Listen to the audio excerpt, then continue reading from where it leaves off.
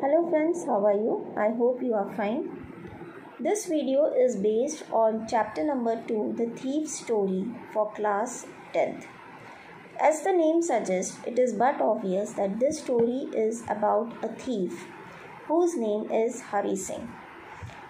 In this story, we have two main characters. One is Anil, who is a man of 25 years of age, and another character is Hari Singh, who is basically a thief by profession, but he is just a young boy of 15 years.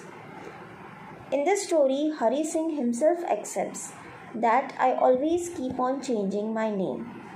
Whenever I meet people in this world, why I keep changing on my name? So that the police cannot catch me and put me into the jail. So in this story, his name is Hari Singh. Hari Singh by nature is very greedy of money because by profession he is a thief. One day he finds Anil who was doing some work. So he, Hari Singh thinks that Anil is a very rich man and if I get the opportunity to stay with Anil or to have the friendship with Anil, then I'll be able to get his money, his property.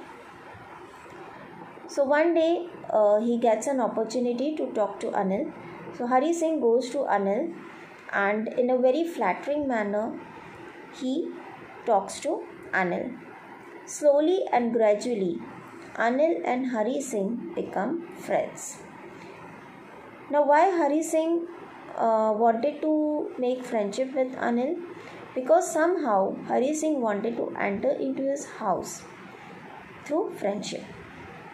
So, Hari Singh says to Anil that uh, I want to work for you. Can you give me some work? I want to stay with you. I don't have any house to stay in, so I want to stay with you and I want to work for you. But Anil says that I can't give you any work because if I give you work, then it means I have to pay uh, some money to you. In free, so nobody will do the work. And I don't have money to give you salary or to provide you money for your work. At that time, Hari Singh realizes that Anil is not a rich man. In fact, he belongs to a middle class family. So, Hari Singh says, Okay, fine. But then Anil says to Hari Singh that, Do you know how to cook? Are you a good cook? If you are a good cook or you, if you can cook the food for me, then I can give you food to eat. So Hari Singh says that yes, I am a good cook. I know how to cook. So Anil takes Hari Singh to his house and they both of them they start living together. Now Hari Singh is an illiterate person. He is not at all educated. He does not know how to read, how to write, or how to uh, read a newspaper. Nothing he knows. So Anil teaches Hari Singh how to read. Slowly he uh, teaches in words.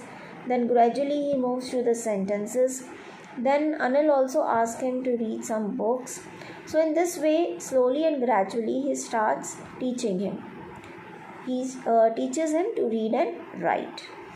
Because Anil wants that Hari Singh should also be educated enough that he can earn his own living. One day, Hari Singh cooks food for Anil. But Anil does not like that food and he gives that food to the dogs. In return, Anil is not at all angry with Hari Singh. Neither he shouts at him, neither he scolds him, neither he tells Hari Singh to get out of the house. He does nothing, he is neutral. But Hari Singh realizes that uh, Anil has not liked my food, so that's why he has given to the dogs. One day, Anil brings a lot of money to his house and he keeps that money under his pillow and then he goes to sleep at night. All these activities of Anil are being observed by Hari Singh. So Anil, uh, Hari Singh thinks that I should steal this money. He plans of stealing this money, whatever money Anil has brought at home. And after stealing the money, he wanted to run away from this place. he wants to go somewhere else by train. So when Anil was sleeping at that night, by after keeping the money under his pillow, Hari Singh goes to uh, into the room of Anil and he takes out the money from under his pillow and runs away. After taking the money, he reaches the station and the train is standing at the station. He wants to board the train and to go away from here so that the police does not catch Hari Singh. But in spite of looking at the train and in spite of the train being standing at the station, Hari Singh is not able to board the train. Why? Because he thinks that Anil has trusted Hari Singh too much. He has trusted him so much that he has given a room to live, he has given him food to eat, he has taught him how to cook. He has taught him how to read and write. But in return, what Hari Singh is giving to Anil? Nothing. He is just cheating him. And not only cheating him, he is also stealing the money of Anil. Whatever Anil earns, that also he is stealing. And then on the top of it, he is running away from there. So Hari Singh thinks that if Anil will come to know about my reality that I am basically a thief and I have stolen his money, how he will feel? He will feel very bad because I have not given him anything positive in return to what Anil has done to me. So, only this idea stops him from boarding the train and he goes back to Anil's house immediately from the station. Now, when Anil comes to know that Hari Singh has stolen his money. In fact, he has tried to steal his money and also to run away from the city. Then, how Anil will feel? Whether Anil will scold Hari Singh or he will beat him or he will uh, hand over Hari Singh to the police and the Hari Singh is going to spend his remaining days in the prison or jail or Anil is going to uh, throw him away from his house and will break his friendship.